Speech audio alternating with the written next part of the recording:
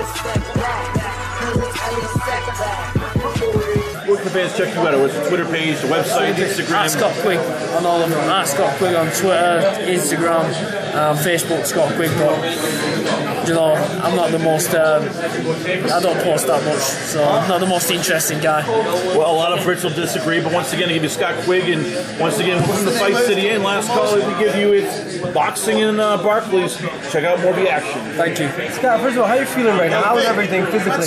Yeah, everything's good. Um, the jaw's back to normal now, and you know, I've been given the all clear last week, so I've started doing a bit of light sparring and back in full training now. That's one of the gnarliest injuries. We all have broken noses, you know, black eyes. What does it feel like when your jaw breaks? Can you describe the pain? it, it wasn't painful, you know, so I'm not going to lie saying it was painful. It was um, it was just weird. I couldn't. It had like every time I was moving, it was had like a. It was just floppy. It had its own mind of its own. But uh, when it got hit on it again, that was what I was worried about to see whether it was painful. But when I got hit on it again, it properly like completely snapped it and just went completely numb.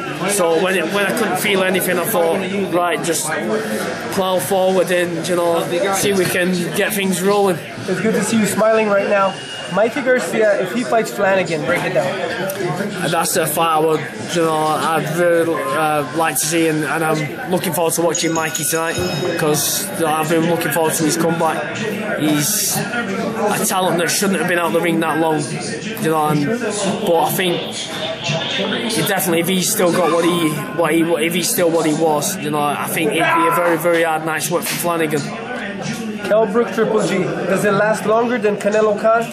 No, How fast does that fight end? uh, as quick as Golovkin gets hold of him. Tyson Fury, if he fights Anthony Joshua, who should I put my money on on that one? if Anthony, if it goes early, Anthony Joshua would beat him. If it goes past four rounds, I'd put my money on Tyson Fury. There's no heavyweight that can do 12 rounds better than Tyson Fury. You want the rematch with Carl Frampton. Yeah. Have you had a chance to see him since you got to New York, or did you see him back home? No, I've, I've not, I've not seen, I've not bumped into him or anything. Or I've Are you gonna run into the ring tonight after his fight? If he wins, you go. It's, it's one of them. Listen, I, everybody knows I want the rematch. He's the only person to beat me, and I want to avenge that loss. You know, people say you need to move on and stuff like that. I, I've got.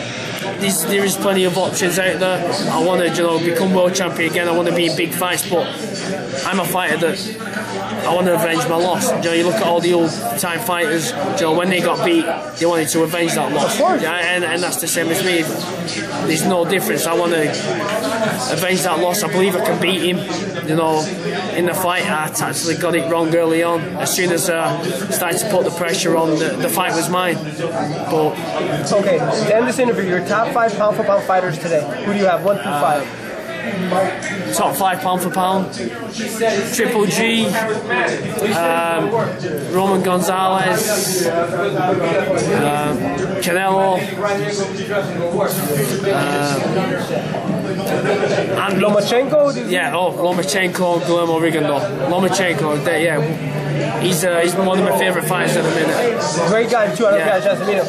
I've, I've never never had the chance to meet him, but everyone I've spoke to says he's um, a real nice guy. And Rusamba, a good friend of mine, he knows him very well, and he said he's a very very special talent. Before I forget, Amir Khan said he wants to fight Conor McGregor. Break down that fight. In boxing. You're laughing, but he said it. In boxing, Amir Khan.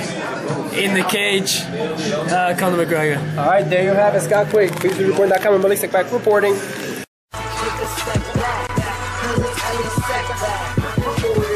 So there you have it. Another great video for ES News. For ESNewsReporting.com, I'm Elie Seckbach reporting, and you can follow me on Twitter at Seckbach, and you can follow me on Instagram at Elie Seckbach.